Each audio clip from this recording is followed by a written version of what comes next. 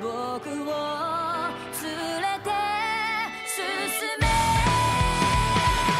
Hola, soy Bash y hola amigos, bienvenidos una vez más a nuestro canal. Y bueno, el día de hoy, como podrán ver en el título del video, les traigo una de las historias más tristes e interesantes en Kimetsu no Yaiba. Me refiero a la historia de la sexta luna superior, los hermanos Daki y Gyutaro. Esta luna la cual fue enfrentada en el arco del Distrito Rojo y después de su derrota nos muestran su historia y la razón por la cual ahora son una luna superior. La verdad es que les debía esta historia de hace algún tiempo pero finalmente la traemos al canal y ahora sí sin nada más por añadir acompáñenme a ver esta triste historia. Y como les dije la historia comienza prácticamente después de la derrota de la luna superior en la cual ambos hermanos se recriminan debido a su derrota hasta el punto en que Gyutaro está a punto de decirle a Daki que no debería haber nacido, pero Tanjiro lo detiene ya que sabe que eso no es lo que realmente siente Gyutaro. Pues de escuchar a su hermana gritando Onichan, viene a la memoria de Gyutaro el nombre de Ume, un nombre que él menciona que era el nombre de su hermana cuando era humana, diciendo que el nombre de Ume era muchísimo más lindo, ya que era el nombre de la enfermedad de la cual murió su madre. Se menciona que ellos nacieron en el peor lugar del Distrito Rojo y fueron más que una carga ya que salía caro alimentarlos y mantenerlos con vida. Su madre intentó suicidarse muchas veces antes de que Gyutaro naciera y después de haber nacido no era más que una molestia, así que intentó matarlo muchas veces. Pero Gyutaro sobrevivió a pesar de que tenía un cuerpo débil como una rama de árbol y aún así intentó desesperadamente sobrevivir. Todo el mundo lo trataba terriblemente mal gritándole cosas como gusano tonto, cobarde e inútil. Se burlaban de él por su voz, su apariencia y le decían sucio lanzándole rocas en múltiples ocasiones, como si todo lo malo del mundo fue creado para insultarlo. Gyutaro menciona que él era feo y estaba sucio, estaba cubierto de suciedad y caspa y olía mal debido a las moscas. En el distrito rojo donde la belleza lo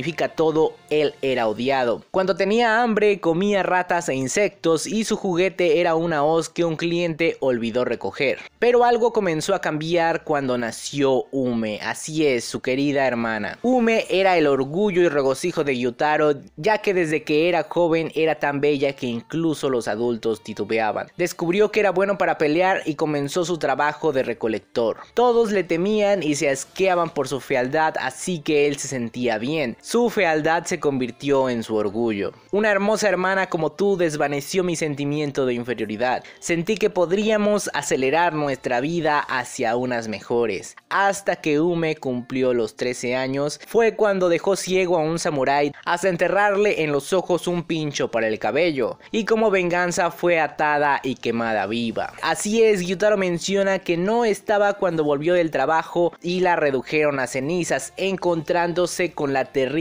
verdad, el escenario más cruel que se puedan imaginar. Gyutaro encuentra a su hermana quemada viva, gritando desesperadamente y con lágrimas en los ojos, diciendo que paren, que paren, ya que él es el recolector de deudas y se atreven a recolectar algo sin darle nada a cambio, lo cual es imperdonable, con la mirada de odio en sus ojos gritando que deben volver a su hermana a la normalidad ya que si no lo hacen asesinará a los dioses Buda y a todos. Pero en ese momento cuando Gyutaro no se percataba de nada y estaba gritando de desesperación, llega el mismo samurái que había atacado a su hermana atacándolo por la espalda y causándole un gran corte. Viendo cómo el samurái había sido enviado por una mujer a atacarlo debido a que sabemos que Gyutaro era el cobrador de deudas, diciendo que estaba agradecida por encargarse de ese tipo problemático, ya que era una brutalidad porque él hería a las personas antes de que pagaran su deuda y las restricciones legales ya no funcionaban, disculpándose con el samurái diciendo que sentía lo de Ume, pero que encontraría otra chica linda y se la iba a presentar. Mientras comenzaban el samurái dijo que solo iba a terminar el trabajo acabando definitivamente con Gyutaro, pero ese fue su error más grande, el haberlo dejado con vida, ya que Gyutaro salta de una manera muy ágil sobre el samurái atacando directamente a la señora en la cara, mencionando que tiene un buen kimono y que también tiene una piel pura y flexible, diciendo que apuesta a que come bien y duerme en un hermoso futón, que probablemente fue desde que nació que vivía en una casa donde se resguardaba del frío y la lluvia, reclamándole que por ser alguien que solo perdió un ojo está haciendo tal drama y le dice que se debe callar, atacándolo directamente, cortándole su espada y partiéndole la cabeza por la mitad de una manera realmente brutal. Después de lo ocurrido, Gyutaro salió con su hermana en brazos, mencionando que nadie los quería ayudar ya que era común, así vivían su día a día sin la ayuda de nadie. Después de todo, la gente que se acercaba a ellos a ayudarlos no existía. En ese momento la nieve comenzó a caer y sin importar la situación todo seguía yendo en su contra. Preguntándose por qué pasaba eso, la buena y la mala suerte suceden intercaladas, ¿verdad? Las cosas buenas y malas deberían tomar turnos por qué a ellos les ocurre todo lo malo, hasta que apareció su salvación. En ese momento apareció alguien que al parecer quería ayudarlos, preguntándoles qué era lo que ocurría y diciendo que era patético, ya que él dice que era un tipo bueno y no podía dejarlos nada más ahí, diciendo que la chica moriría pronto y mostrándonos el escenario del mismísimo Douma, quien en ese punto era la luna superior número 6, el cual les da un gran ofrecimiento y por primera vez alguien les mostraba ayuda diciendo que les daría sangre a ellos dos y si son escogidos por ese hombre pueden convertirse en demonio. Lo que llamamos vida es preciado y deberían valorarlo, diciendo que deben convertirse en demonios como él y se pueden unirse a los 12 demonios de la luna y convertirse en aquellos de luna superior. Mostrándonos a Gyutaro diciendo que no se arrepiente de haberse convertido en demonio ya que definitivamente se convertirá en uno sin importar cuántas veces nazca, y que no perdonará que otros tengan mejores vidas y se convertirá en el que las arrebate y las recolecte, ya que ese es su trabajo para posteriormente mostrarnos el momento en que ambos hermanos como Luna Superior terminaron sus vidas y se dispusieron a ir al más allá. Mientras Yutaro comenta que ellos eran bastante diferentes, ya que si Uma estuviera en otra tienda hubiera sido una Oiran apropiada, si tuviera padres normales hubiera sido una chica normal, y si hubiera nacido en una buena familia hubiera sido una dama elegante, ya que ella tenía una personalidad honesta y era fácil de influenciar, mencionando que se convirtió de ese modo porque él fue quien la crió, diciendo que la enseñanza que le dejó, la de tomar las cosas y cobrarlas, es lo que la llevó a arrancarle el ojo al samurái y generó todo el cruel destino que la acompañó, mencionando que su único remordimiento es ella, ya que si por él fuera se convertiría en demonio todas las veces que fueran necesarias, para posteriormente encontrarse en el lugar de más allá y saber que iba directo al infierno. Pero aparece su hermana gritando Onishan, apareciendo su hermana, pero pero en este caso con su forma humana, como Ume, sorprendiendo incluso a Gyutaro con su apariencia. A lo cual Gyutaro sabía que su destino estaba en el infierno, pero su hermana aún podría tener salvación, diciéndole que no debe seguirlo ya que él va a un camino por completo diferente. Pero Ume, teniendo un enorme cariño por su hermano, le, le dice que no crea que sea feo y que simplemente apestaba, y que no quería aceptar que fue su culpa por la que perdieron, disculpándose por no ser muy capaz, y si hubiera sido más útil no habrían perdido, disculpándose nuevamente. Yutaro respondiendo que ellos dos no son hermanos ni nada por el estilo, ya que él va por ese camino, así que ella debe ir en la dirección opuesta,